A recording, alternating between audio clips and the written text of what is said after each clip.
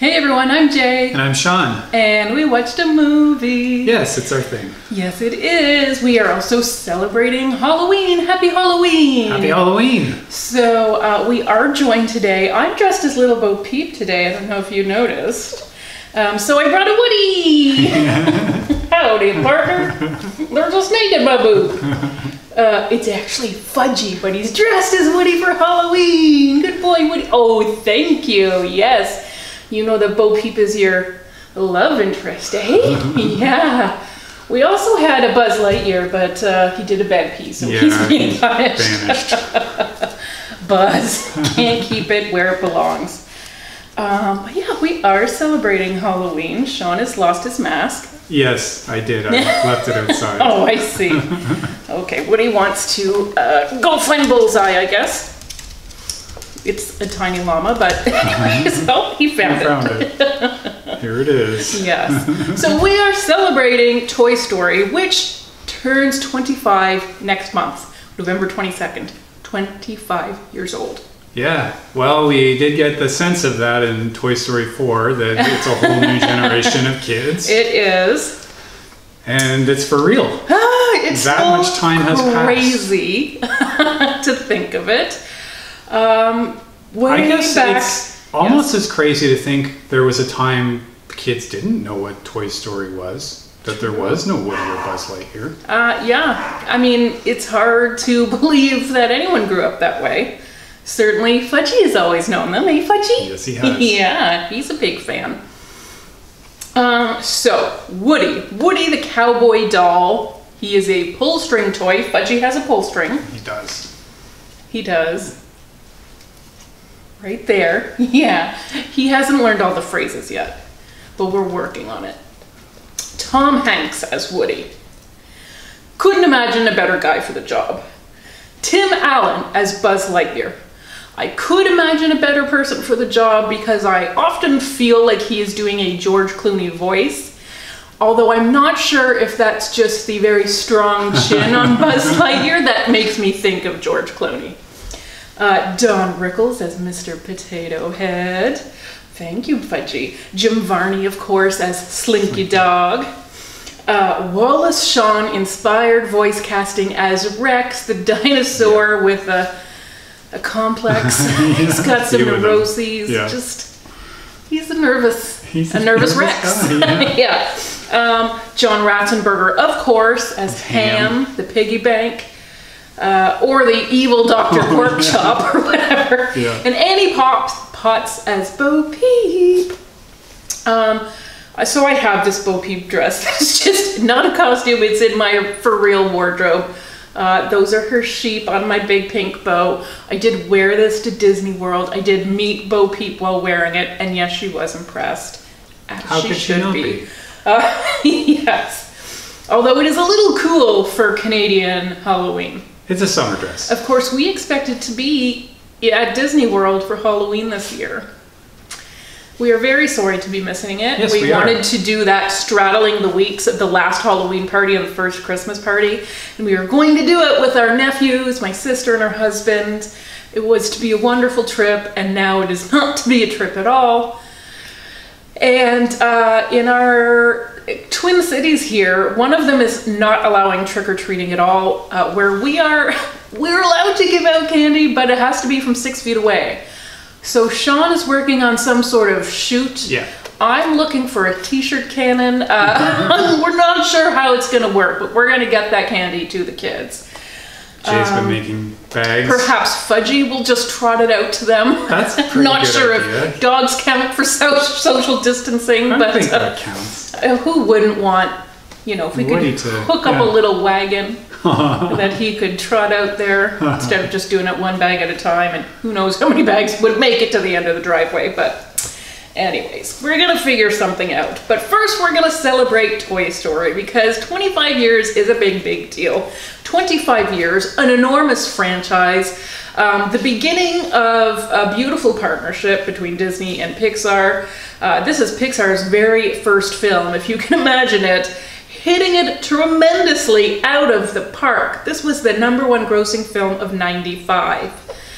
Um, and it was definitely a film that uh, right, everyone thought it was for everyone, and it was. It was. Uh, Pixar has this great history of making beautiful films for children that adults, that anyone of any age can also appreciate. It unlocks the kid on you, but there's also jokes that are targeted just towards an adult audience. Pixar has a certain magic where they can make that happen. Uh, they do work very hard on their stories, and uh, yeah, Toy Story is the proof uh, and the beginning of a very beautiful thing. So, right off the bat, we uh, are introduced to Woody, who is the sort of unofficial leader. leader. of the gang of toys in Andy's bedroom. I think it's pretty official. Oh, okay. Well, I mean, the bedspread is Woody. Everything is about Yeah. Woody. All the pictures on the wall are of Woody. He is Andy's favorite toy because it says so on the bottom of his boot.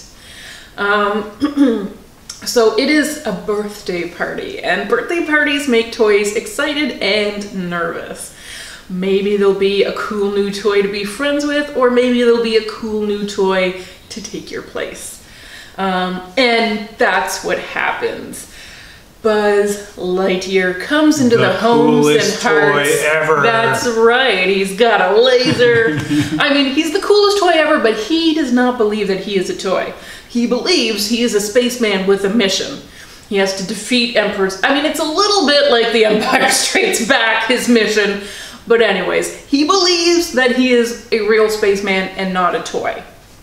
And he does kind of quickly eclipse Woody. Oh.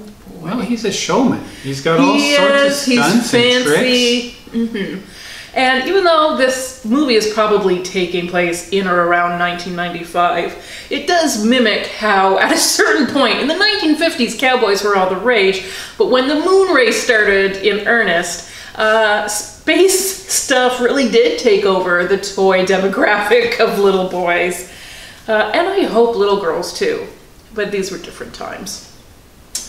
Um, we know that Woody is actually a family toy. We suspect he may have been Andy's mom's toy. Because because it seems like she may have been the owner of Jessie at a certain point, but someone has passed Woody down to Andy, and until very recently, it was his best buddy.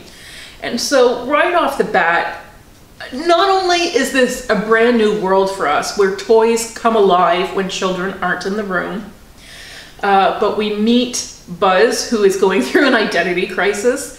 Uh, to some extent, so is Woody. He is jealous of Buzz and he doesn't know who he is if he's not the leader of the toys anymore.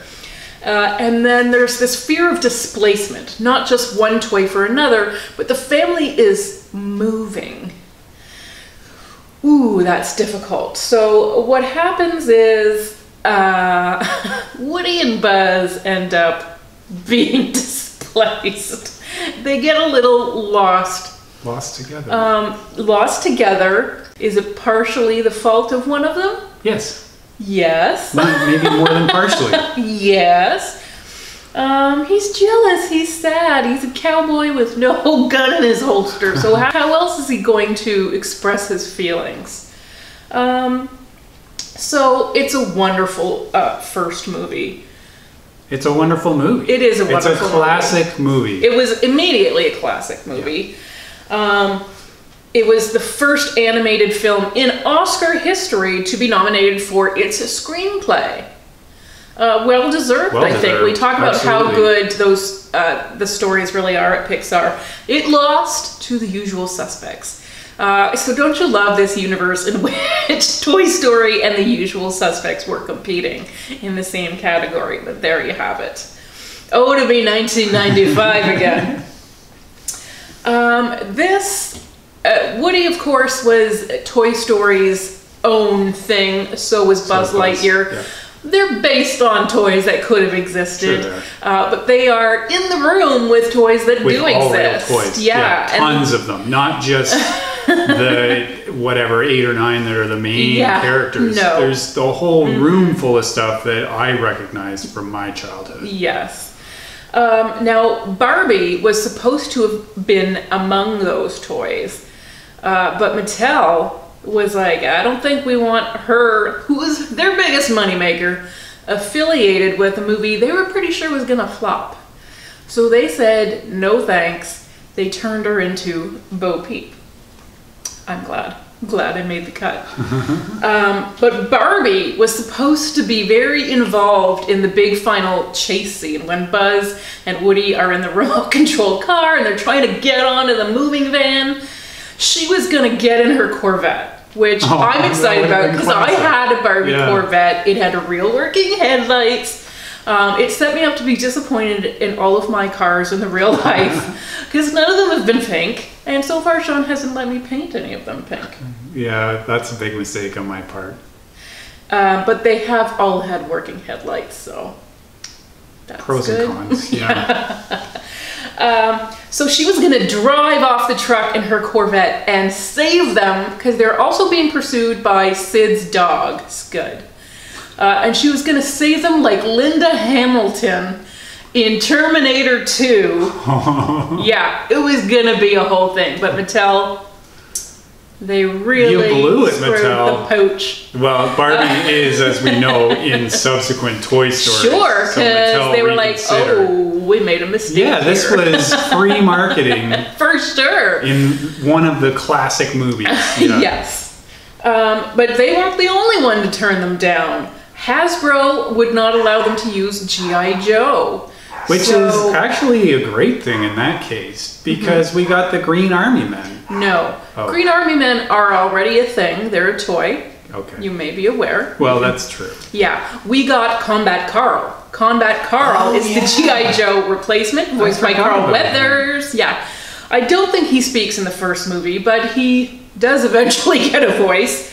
So, uh, sorry, Hasbro. They went with their own thing, and there was no room for you. Move over. And clearly, I didn't even notice. yes. Uh, I think I told you this before, but Tom Hanks was recording his lines on breaks uh, while he was filming Sleepless in Seattle and A League of Their Own. Um, because he didn't want to have to do it while he was doing Philadelphia and Forrest Gump, which he thought were too More sad yeah. uh, to get into the same character. But I think that's funny because he's so mean in A League of Their Own, and he's a pretty happy guy in Forrest Gump. So it's just funny how he thinks of his char- yeah. characters as a little differently than we do. Um, shockingly, Tom Hanks, clearly the obvious choice, perhaps even the only choice for Woody. Um, but lots of people were considered, including Paul Newman. Uh, in fact, they wanted Paul Newman to be Woody and Jim Carrey to be Buzz. And this would represent old Hollywood passing the torch to new Hollywood. Um, Glad that didn't happen. Jim Carrey is a weird choice. Yeah. I mean, I guess maybe in 95 he, he was wasn't big. so weird. Yeah. I mean, well, he's just as weird, yeah. but he was making big so weird movies. of a choice, yeah. Um, uh, but Paul Newman wouldn't do it for the small budget. Apparently, Tom Hanks would. Um, Billy Crystal turned it down. He called that the biggest mistake of his career when he saw how good the movie was. So the next time John Lasseter called him, he did not say hello. He answered with yes. Uh, so now he is the voice of Mike Wazowski in Monsters Inc. So I'm glad he got in. Yeah, and probably good. I mean, he could have been in both movies. It's hard to imagine anyone else as Mike Wazowski. Mm-hmm. That's true. And we're very delighted with Tom Hanks. So it is not really a loss. Um, but a lot of these people did not end up doing Pixar movies. Uh, so I think it really was something that he like went on record as saying, I regret turning them down. This was a great movie. And so that really kept his name in the mix for future projects. Um, Steve Guttenberg felt like he was in a place in his career where he could afford to turn this down. That's interesting. That's very interesting. Oh, it must have been all that police academy. money. well, it was something, wasn't it? So, uh, Clint Eastwood was considered, Sean Connery, Robin Williams. This is going a lot of different It really ways. is. um, and it's so hard when, like, Woody really is like a mainstay of pop culture. It is almost impossible to imagine anyone else as Woody. yes, it is. Um, as for Buzz, Chevy Chase turned it down. Um, which is the why, why Tim Allen said yes because Chevy Chase was his idol, so he did Aw. not mind doing Chevy Chase's leftovers. Uh, Bill Murray was considered, Bruce Willis, Mel Gibson. At least those seem more consistent in Yes. choices, Of if you know what I mean. Yeah. Yeah.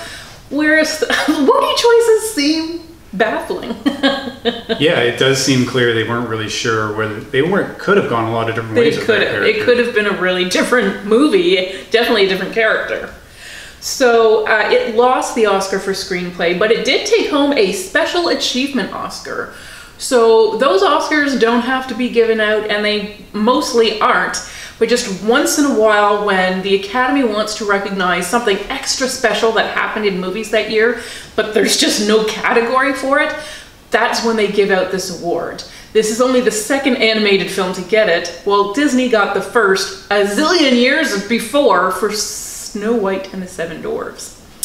Um, so this was a special achievement for the development of an inspired application of techniques that made it possible for the first feature-length computer animated film.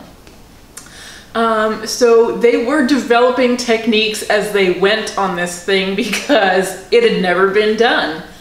Um, it took them three years to figure it all out. That's a long time. That is a long time. Um, but animated films are a big investment because it takes a lot of craftsmanship. It takes a lot of artists working together for a long time. Um, the Lion King had 800 people working on this film, and at the most, To- Toy Story had 110. So computer animation really did. I mean, it was a a huge big advance. It was a huge well, leap, right? Mm-hmm. obviously, because now every Everything. animated movie is computer animated. We don't even really Very draw nearly. like we draw the distinction the other way now. Yes. like, this is hand animated. Yeah. So the character Andy is named for Professor Andries Van Dam, who is a Brown University professor in computer science and an animation pioneer who taught a lot of the people who helped make this movie. So that was their sort of ode to him. Uh, obviously, he is the grandfather of animated Animation, of yeah, computer animation. Yeah. Yep. Um, a little uh, thing that I really loved in this movie, in the first Toy Story, is that moving truck scene, of course. And if you look at the license plate, it is MLY1K9. And that is named after Molly, the canine, Molly, the resident sheepdog of Pixar. Does your workplace have a resident dog? No, definitely not. No. What are any of us doing working in offices that don't have dogs in residence? Uh, Molly is, of course, also the like Andy's little sister's name. So clearly, Molly was a beloved dog. Good dog. I like to believe she's still there. So, Toy Story 1, 1995. It took home a Special Achievement Oscar. It was nominated for three real Oscars the screenplay, of course, and song and score, Randy Newman. Uh, but it lost both to Pocahontas. so, 1999, we got a sequel. Uh, of course, we did. It was a runaway success. How could we not revisit our new favorite pals? So this one um, has Andy away at summer camp, I think. So he has left behind his good pal Woody, if you can believe such a thing. It is hard to believe. It is hard to believe. I mean, I guess he didn't want to be bullied at summer sleepaway camp, you know? yes.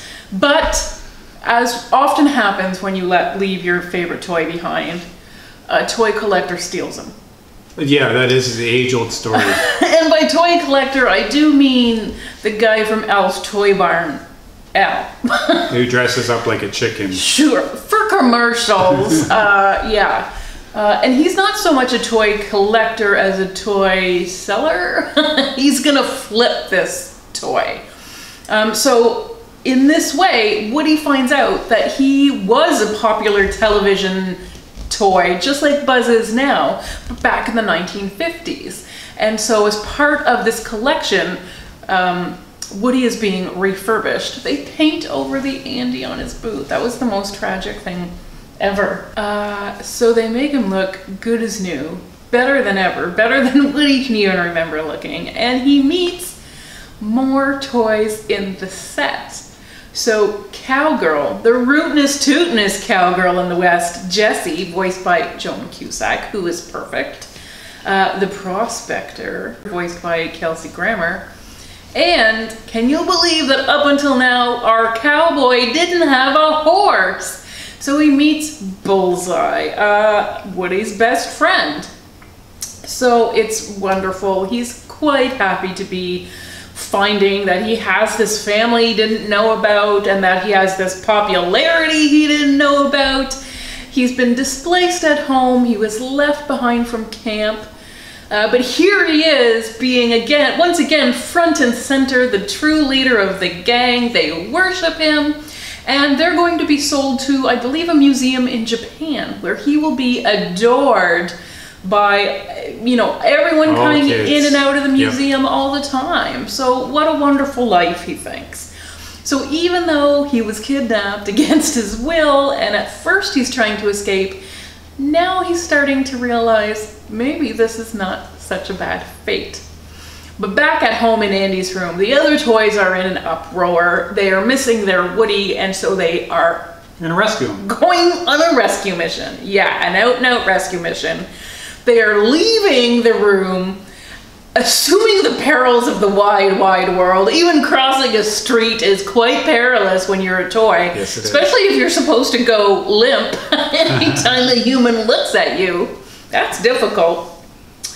Um, of course, at home, it's sad without Woody, but um, Andy's little sister recently had a birthday party, and do you know what she got?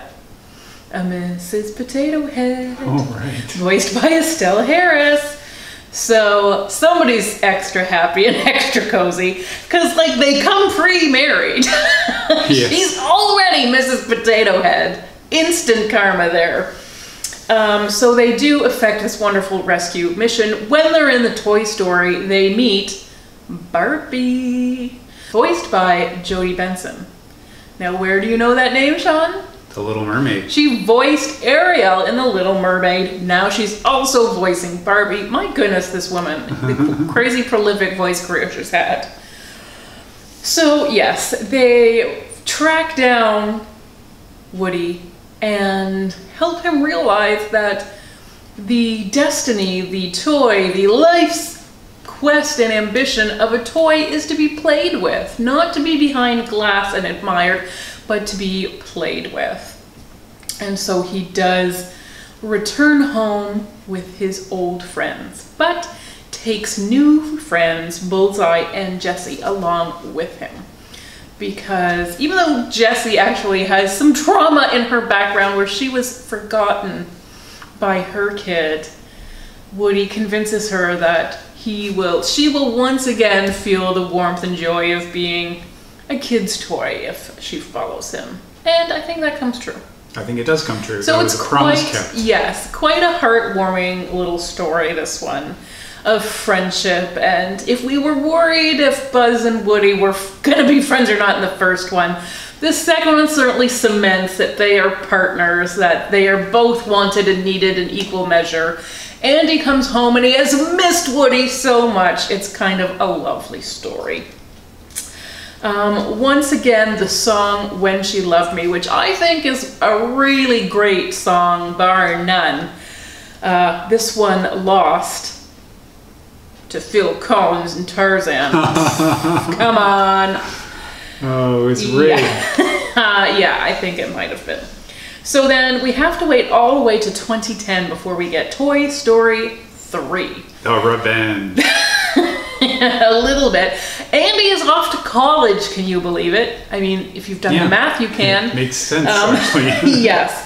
So his mom, like all mean mothers everywhere, they always want you to, you know, get rid of your stuff. yeah, they finally or want they sell your precious collectibles in a yard sale. Or they want you to come pick up your junk that's still in the attic now that you're an adult and have a house of your own. Moms are just like that. And so he's got like the pile to take to college, the pile to throw out, the pile to donate, and the pile to keep at home. So Woody is going to college. He thinks about it. Think probably thinks about summer camp. Yeah. Puts Woody in the pile for college. The rest of the toys, though, get rounded up and put in a trash bag and wind up on the curb. And the garbage truck is coming down the street. And Andy's mom surprisingly springs for some pretty hefty bags because They can't get it's impenetrable. Um, so, yeah.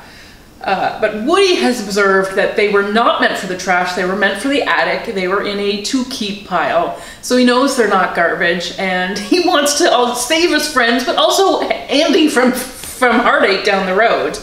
So he manages to rescue his friends just by the skin of his teeth, um, but he can't get them back up to the attic. The best he can do is put them in a donation pile for a daycare center. So off they go. Um, and it's supposed to be practically heaven for them to be played with by little children again. It's been a while, I think, since Andy got into his toy chest. Um, of course, they're put in the toddler room where things are messy and the kids are too They're rough. demons. But to be played with again, maybe it's worth it. But it turns out that a new toy at the daycare that they meet, Lotso. The leader. the, the mean toy leader Lotso, voiced by Ned Beatty, he's mean. He is a dictator. He is all kinds of bad. And so they, ha- they they've kind of lost the will to live after being thrown out by Andy, and now they've been through hell over in the daycare. They're almost resigned to their fate.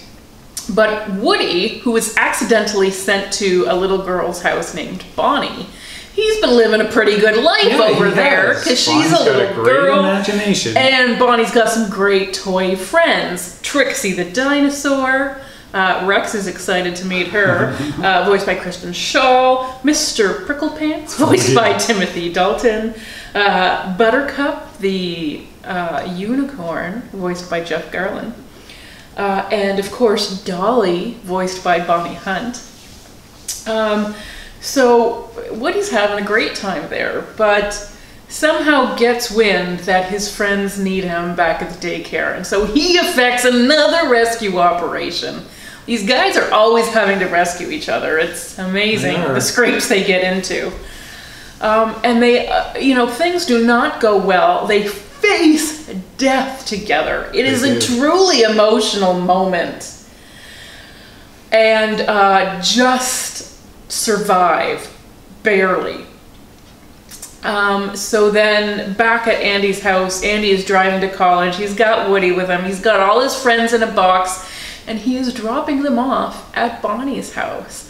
So they're not going back to the daycare. They're not going to the attic. They're going to a little girl's house where they will be played with and loved and cherished and meet these great new friends. Uh, but it's a little sad because Woody is going to be separated from the gang and go on to college. And he knows, you know, he's Andy's toy. That's his lot in life.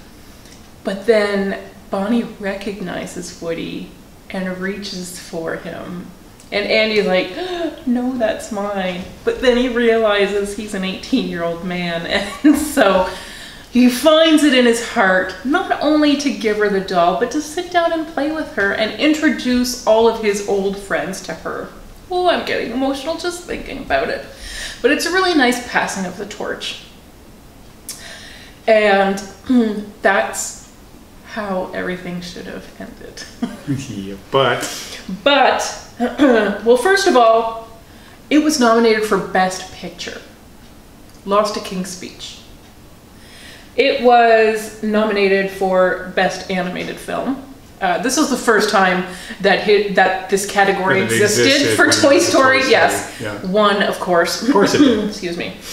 And it was nominated for the song "We Belong Together." Not Randy Newman's best, but it won. Take that, Tangled. uh, and then, and then in 2019, they came back with a number four. And the thing thing is, it's not a bad movie. It's really not. We get introduced to some great characters like Forky, Yeah. Um, and Duke Kaboom. Bonnie's new best friend Forky, uh, voiced by Anthony Hale, who just thinks he's garbage because he is. It's is. just a crummy craft that she made in kindergarten, but it's her new best toy. And so the gang tries their best to integrate him into toy life, but he just keeps trying to garbage himself. um, and then they're going on like an RV trip with Bonnie's family, which is very exciting. They have left the neighborhood, they are exploring the wide, wide world. And uh, so they're parked near a carnival where we meet Ducky and Bunny, voiced by Keegan Michael Key and Jordan Peele. Wonderful characters, great voice work. It's so great to see them as a team again. yes, it is. Uh, and then Woody comes across Bo Peep, and we have not seen her in the series in a while. But he finds her in an antique store near the carnival. And she does not want to go back to the RV with him. She is happy in her new independent life. Even though it does seem a little sad and solitary, she seems happy with her independence. And we do see her like kind of out there kicking ass with her sidekick, Giggle McDimples. Oh yeah. Giggle McDimples, the, the tiny Polly police Pocket officer. police officer, voiced by Ally Maki.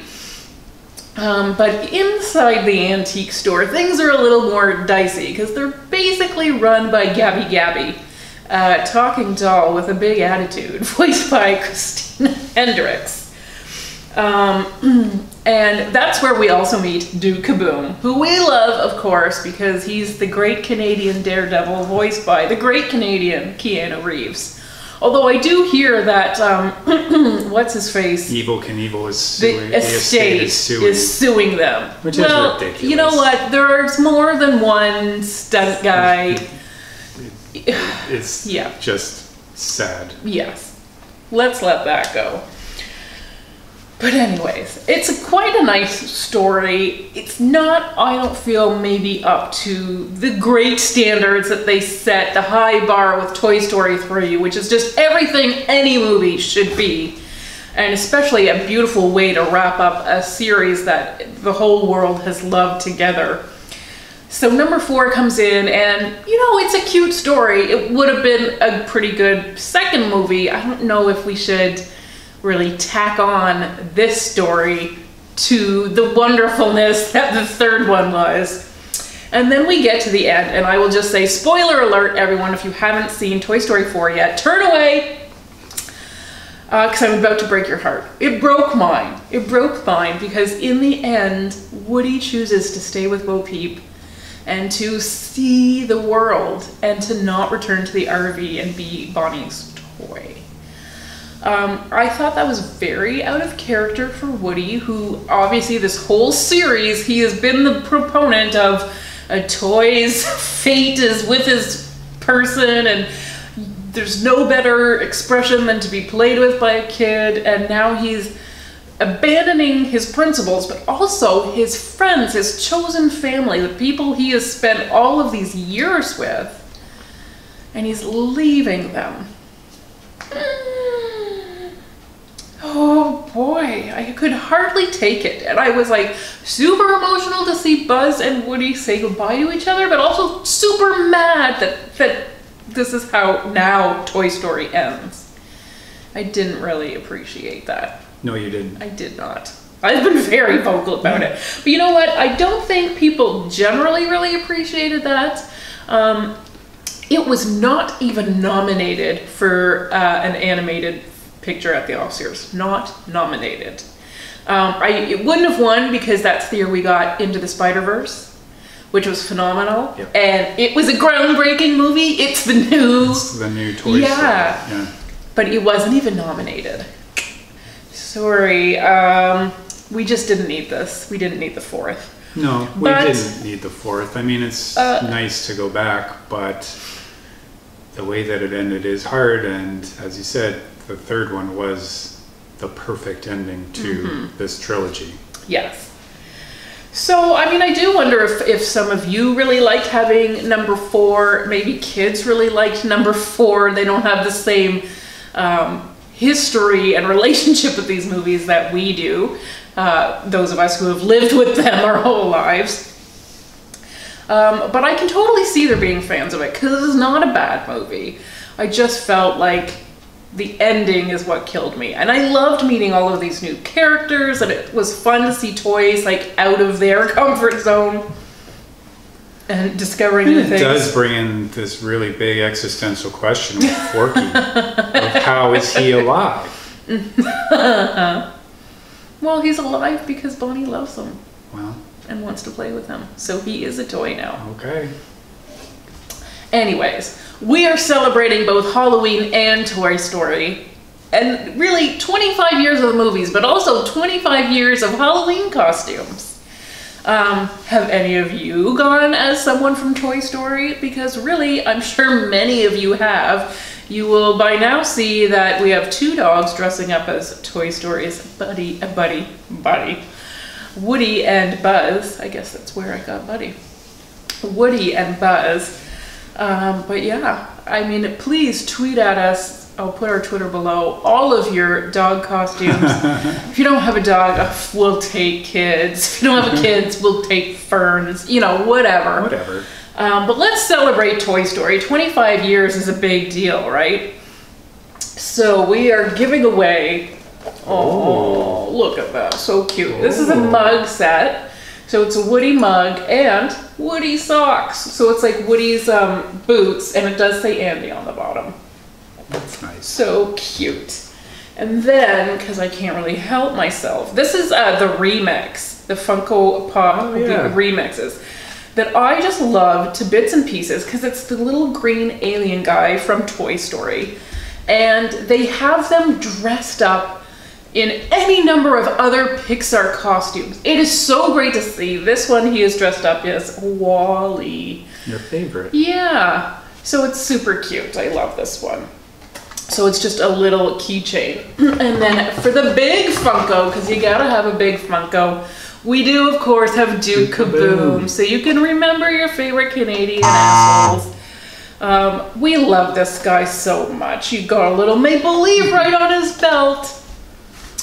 But yes, he is one of our favorites. One of the good things that came out of the fourth installment. So let us know in the comments which of the Toy Story movies is your favorite, and we will consider you entered in the contest. Good luck, everyone, and thanks so much for watching. Bye.